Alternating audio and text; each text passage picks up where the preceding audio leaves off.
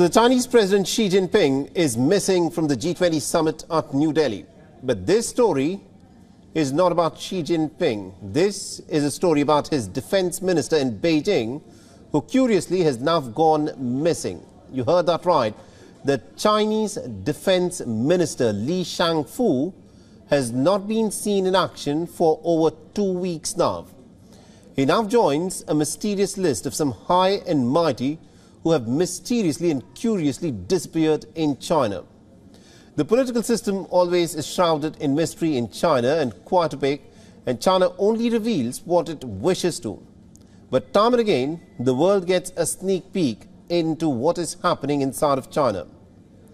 The American ambassador to Japan, Rahm Emanuel, has raised some serious concerns as to how the National Minister for Defense in China, Li Shangfu, has not been spotted in public for the last two weeks. Now remember, it always starts like this. Now, Li Shangfu was last seen on the 29th of August addressing the China-Africa Forum in Beijing. Now, Emanuel has also highlighted the case of the missing commanders of the People's Liberation Army's rocket force.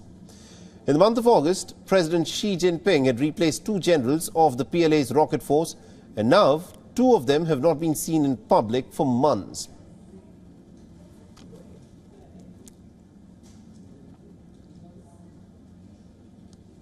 WION is now available in your country. Download the app now and get all the news on the move.